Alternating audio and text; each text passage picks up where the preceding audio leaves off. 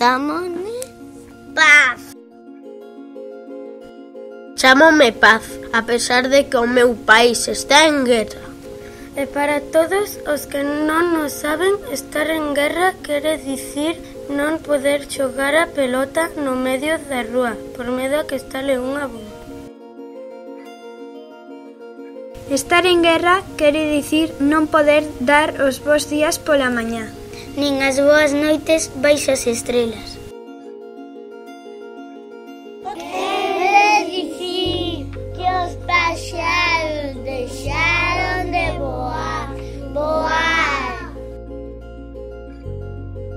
Estar en guerra quere dicir taparse os oídos todo o día para non escoitar os berros. O pranto. Quere dicir non ver ninguna flor na primavera. Estar en guerra quere dicir Que non corren as horas. Quere dicir non poder dormir por culpa dos tiroteos. Estar en guerra quere dicir ver a túa irmá pequena pegada ás saias da túa nai porque non entende nada do que ocorre.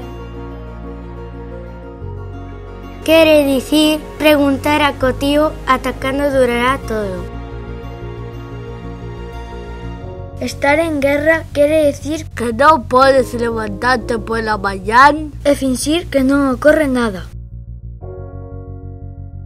Pero Hoxe, por fin, chegou a paz. Vin unha flor nacer en plena primavera. Por un momento puden apatar as mans das orellas e escortar o silencio. Observei que o tempo volve correr e, por primeira vez, deime conta de que o meu nome tiña un sentido. Paz.